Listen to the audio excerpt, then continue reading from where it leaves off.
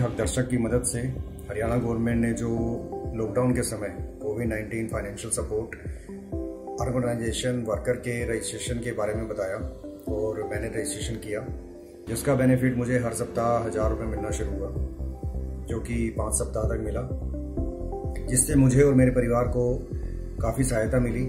Registration के बारे में बताया और रजिस्ट्रेशन कराया, जिसका बेनिफिट मुझे एक हज़ार रुपये सप्ताह के हिसाब से पाँच सप्ताह मिला। To get more information, give a missed call on the Hakdarshak helpline number given below. You can also download the Hakdarshak mobile app for more information.